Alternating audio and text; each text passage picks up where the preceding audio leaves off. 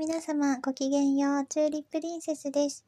え今日私はちょっとあの、一日お家でゆっくりしていて、家事をやったり、YouTube をアップしたりしていたんですけれども、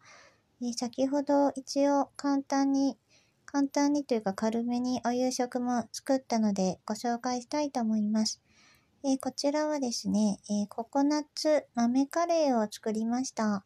えそしてノンフライヤーで作った、あ、焼いた、えアジフライ。そしてタルタル、えっ、と、ルッコラのトマト煮、そして、えー塩トマトなんですけれども、ちょっと一つずつご説明したいと思います。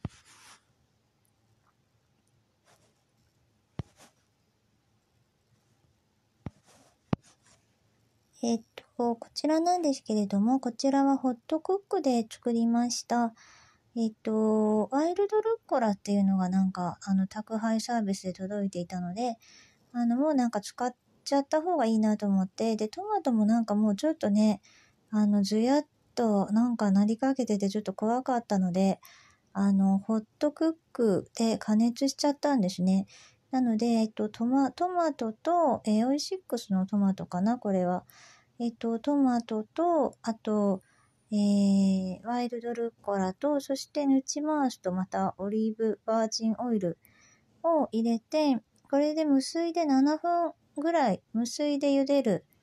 の7分ぐらいかな、感じ、した感じでやったら、こうやってあのトマトからなんか水分が出て、なんかちょっとあの、なんかちょっとスープっぽくなるんですね。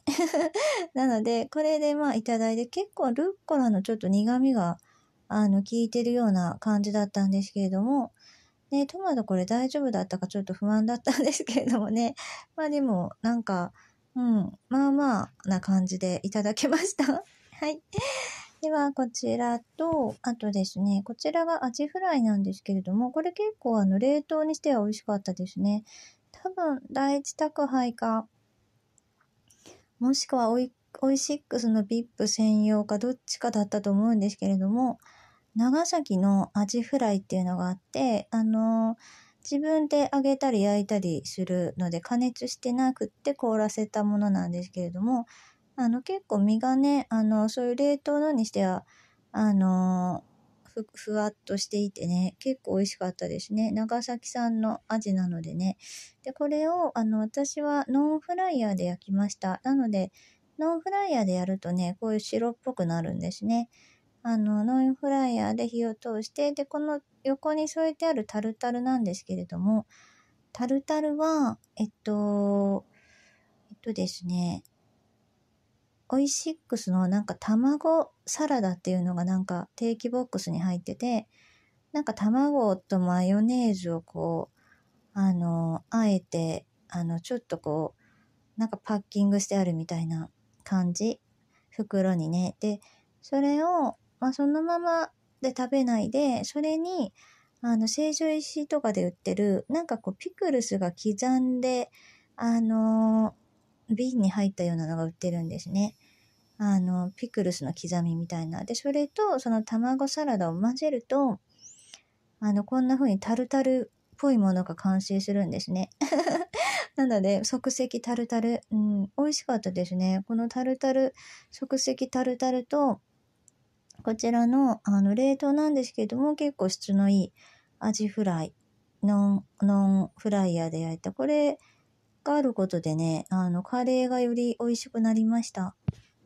はい、こんな感じですね。こちら普通にあのトマトなんですけども、ちょっとなんか、ジュヤっとなったところは、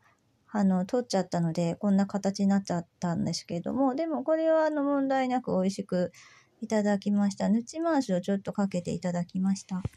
昔ながらのトマトっていうのでしたね。第一かオイシックスだと思います。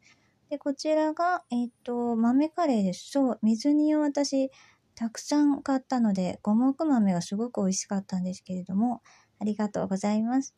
で、えっと、その余った、えっと、お豆さんを、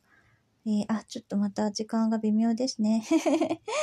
ちょっと説明したいので、次にやっぱ丸2にしちゃおうかなと思います。豆カレーの説明を、えっと、次でしたいと思います。